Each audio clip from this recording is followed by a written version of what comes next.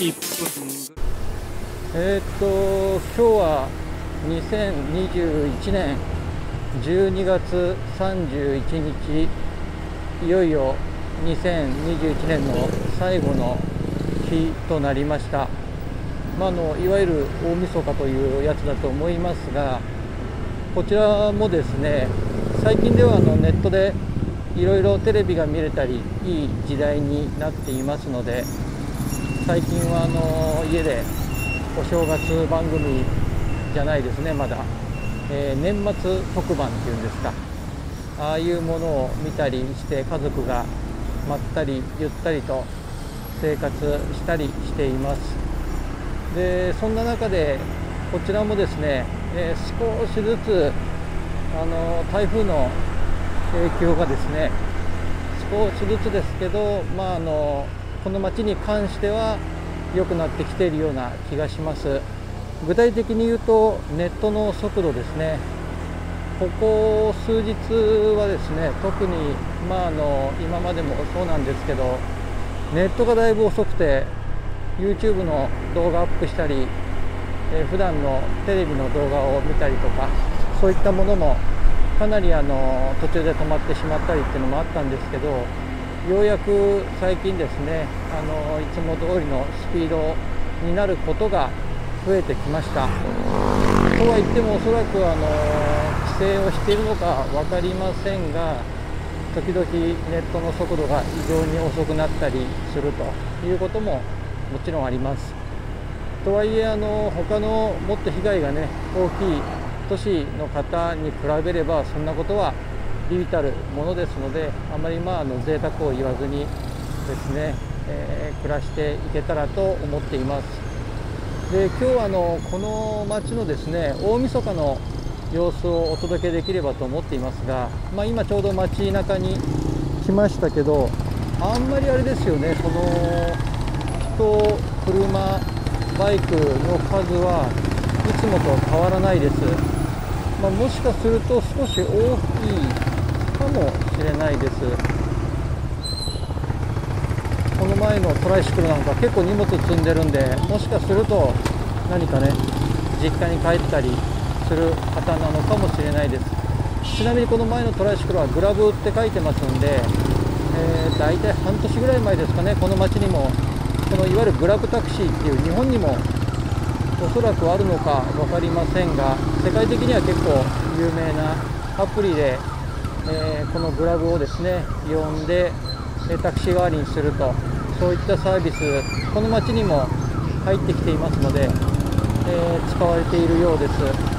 特にあの貸し切りでねこうやって荷物を多く運んだりそういう方が使われるサービスのような気がします。ちなみに料金はですねえーっと大体普通の場合片道まあ街中10分15分乗って15ペソぐらいだから30円ちょっとですけどこのグラブの場合はだいたいその3倍ぐらいですかね60ペソ前後はしたと思います。なのでまあ割高といえば割高になります。その代わりあの自分がアプリでいろんなとこまで来てくれますのでそのなかなかねタクシーが来ないトライシクルが来ないといったようなことはありません。うわーすごいな。並んでますね。えー、ドーナツ。ドーナツ屋さんだな。ダンキンドーナツにものすごい人がいました。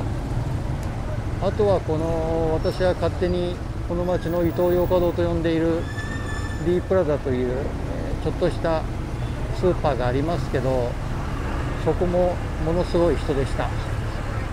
でその他はですね、まあ、それほど驚くほど、まあ、見ていただいてもう分かると思いますがそんな人は異常にね多いということもありませんが決してあのもう閑散としてあのみんなね家にいるというような感じでもないですね。なぜか風船を持ったおじさんがいます。なんだろうな。この町では正月になるとあの何ですか昔ブブセラってラッパみたいなやつ。日本でも例えばサッカーの試合とかで、えー、大きな音がね出るブーブーブーブーラッパみたいなやつ吹いて鳴らすのがありますけどあれをね夜中鳴らすんですね。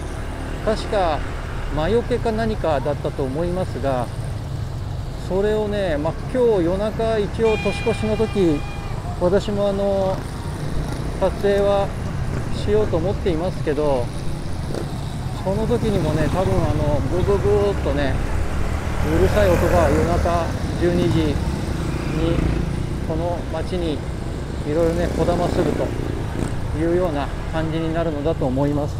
今海の方に向かって走りていますがうーん、まあ、変わらないですね、まあ、さっきから同じ話しちゃって申し訳ないんですけどあまり正月だからどうのこうのということはないようです。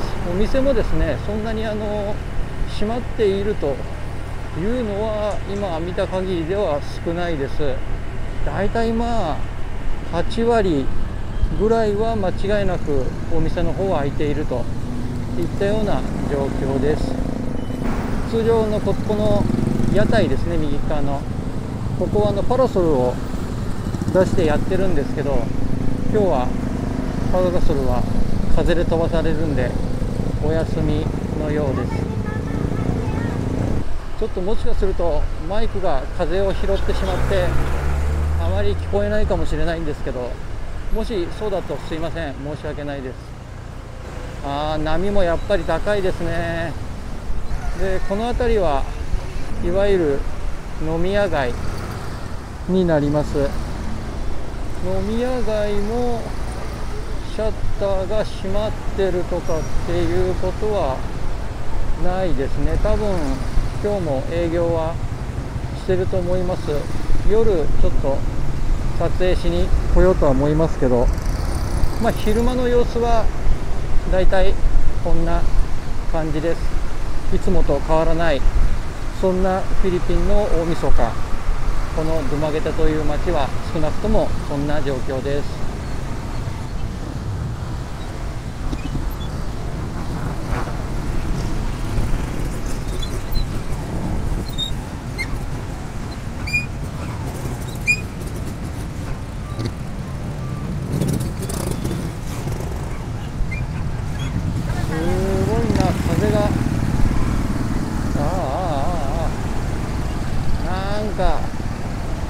風よけの板も折れちゃってますね。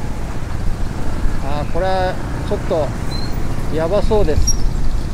あの雨が来そうなんで撮影を中断して急いで家に帰りたいと思います。ずぶ濡れになりたくないですね。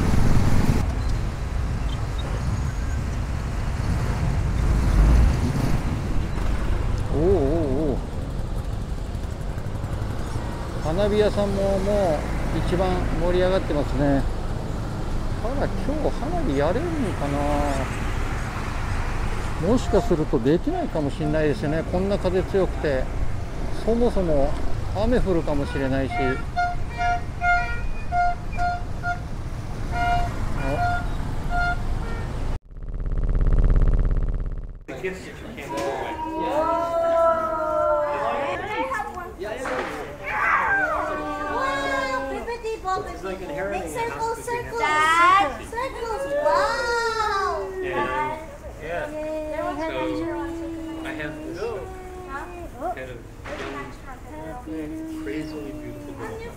花火大会が始まりました。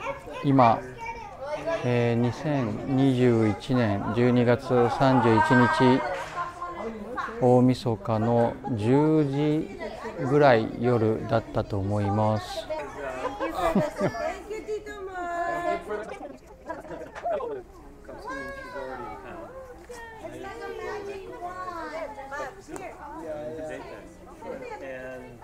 今夜の10時ぐらいですね。10時過ぎたとこ。なんか今道の真ん中というか脇もそうですけどかなりね賑やかな人たちが、えー、出てきてます、まあ、具体的に言うとさっきから聞こえてるかもしれませんがバンバンバンバン爆竹のようなものを鳴らしてます。先ほどあの我が家でも紅白を見たりですねちょっと通信速度がやっぱり波があって途中で止まったりしてしまうっていうのもあるんですけどお正月気分を、えー、盛り上げるというか、えー、高める、えー、感じでやってます。おなんだほら木がなんか綺麗ですね。ライトアップしてるんだ。今日ここえー、っと来たんですね。夕方4時ぐらいまだ明るい時だったと思います。ここがあのこの町のメインストリートの一つですがさすがに12月31日夜まあ10時となってくると店も閉まって、えー、人通りは少ないです。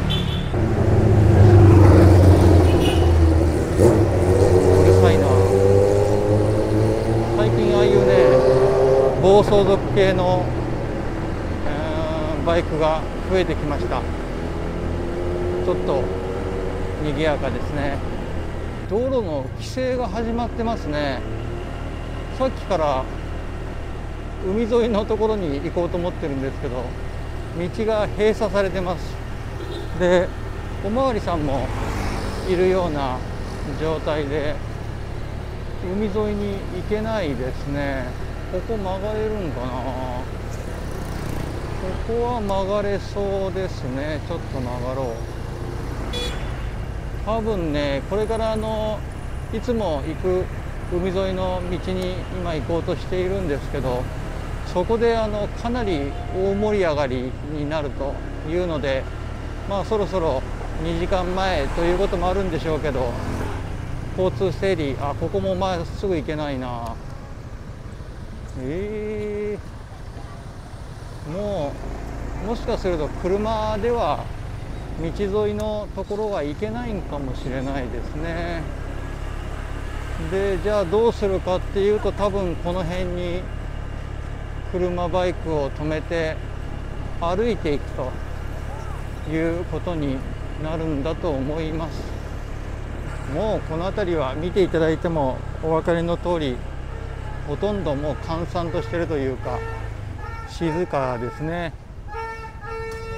あこれがあ子供が今笛吹いてますね。あこの辺はもう路中が始まってます。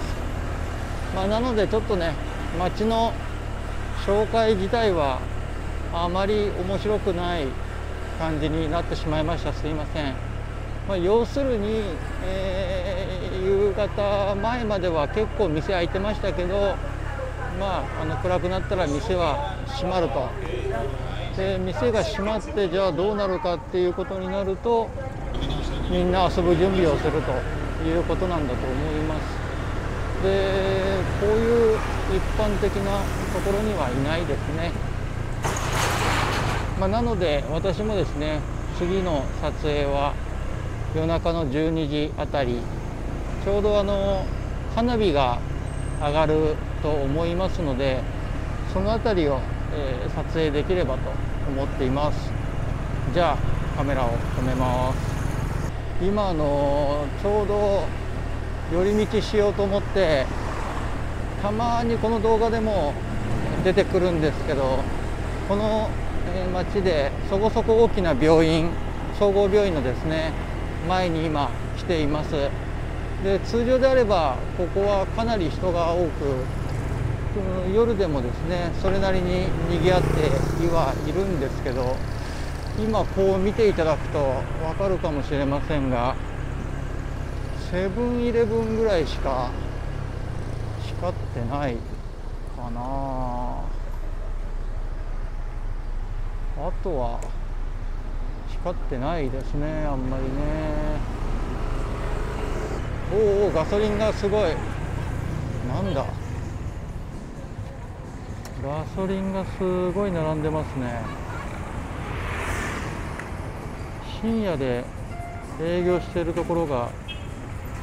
おおあーそこで爆竹やってるな。ちょうどねここにあの映ってるかな。ちょうどなんかもう爆竹のあのなんだ爆発したカスみたいなのがいっぱいいますね。ああああ臭い臭い臭い。あの爆竹のなんていうんですか火薬の匂い。この辺りはなんか外にスピーカーを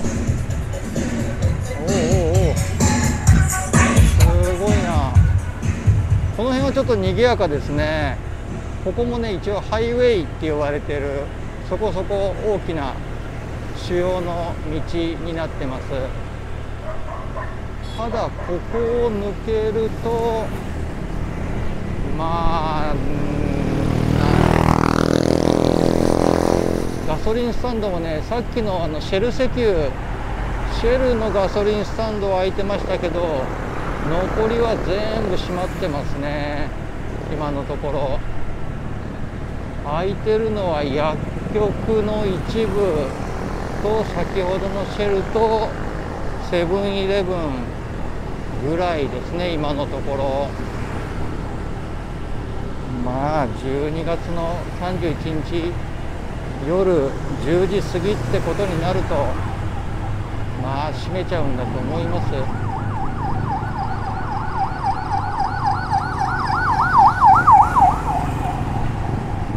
こそこ大きなショッピングモールも今横通ったんですけど閉まってますね。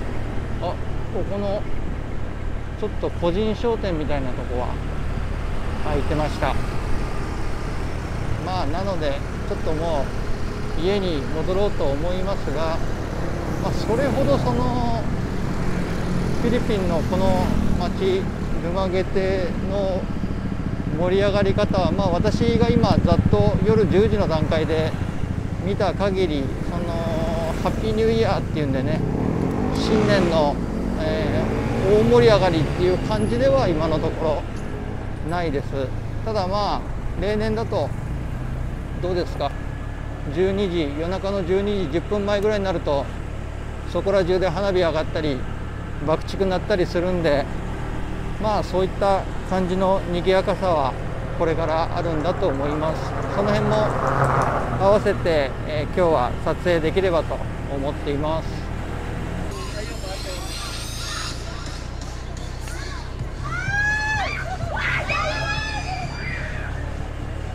ビーチは誰もいないですね。すごい。あんな真っ暗なビーチは初めてです。屋台も全部閉まってますね。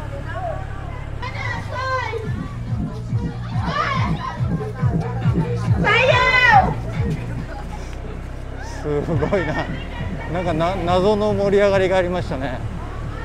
ああやってあのまあご近所さん同士なんだかそういったおおおお由緒ここはすごいな。映ってますかね。ちゃめちゃ波が高いですね。おおおおおおおこんな波が高いのは初めてですね。怖いぐらいです。安全運転で帰ります。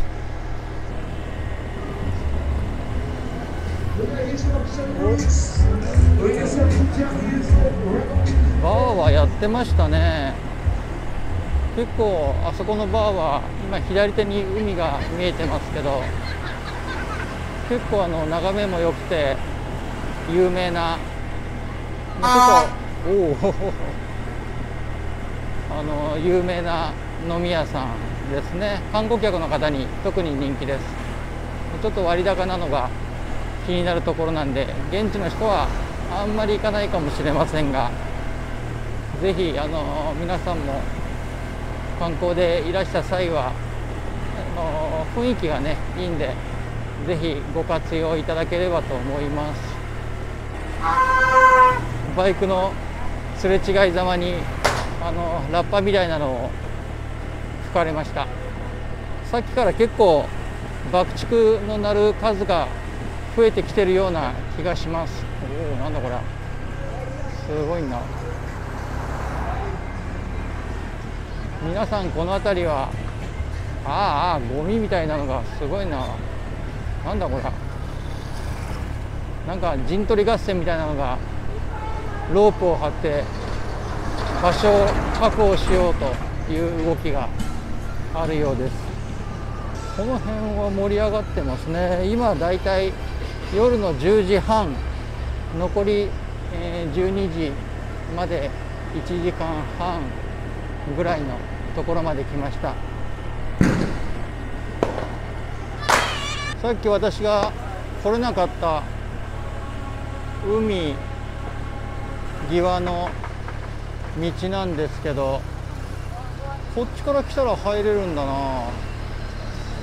このうちどっかで通行止めになってるのかもしれないです。あここで通行止めか。あここで通行止めなんですね。ここから先は行けないんだ。えー、あ完全にダメですね。通行止めだ。もうこの辺りはバイクが止めてあったり車が止めてあったり。普段はこんなに当たり前ですけど混んでませんが。すごいなこの辺りは以前中華のなんかラーメン食べたり水餃子かな？食べたりしたところです。あと肉まんとか、えー、焼き小籠包、えー、そんなものも食べたお店がある。結構私は来るところです。ちなみに今日の我が家の夕飯もここでした。まだやってるんかな？ャオパオ。これか。映ってますかね？ここですね。えー、っと天津ヤムチャ的な、えー、肉まん餃子えー、春巻き。そんなお店です。まだここ営業してるっぽいですね。すごいな。ではでは夜中の12時今度こそ。ちたいと思います。盛り上がってきました。あと1分ぐらいで2022年になります。花火がいろいろなところで上がり始めました。カメラで撮影していますがおそらくうまく撮れてないと思います。花火が上がり始めました。あこっちも。ただね雨降ってきたんですよね。カメラがね濡れちゃうな嫌だなと思ってたりします。相変わらず暴走族もいます。おおおおすごいすごいお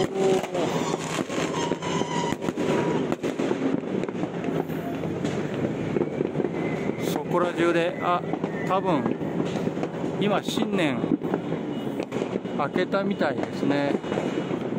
おめでとうございます。本年もあきら海外チャンネルよろしくお願いしますものす。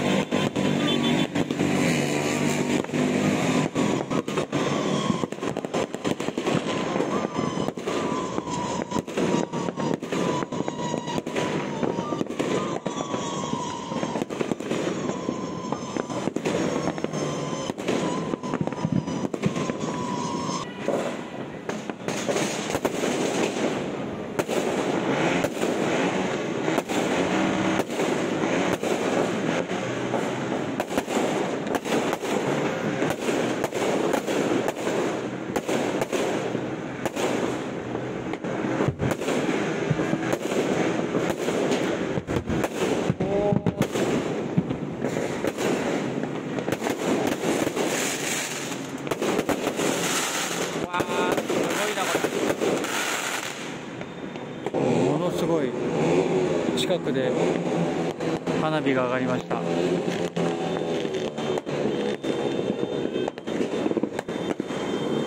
バイクもめちゃめちゃ音を鳴らしながら。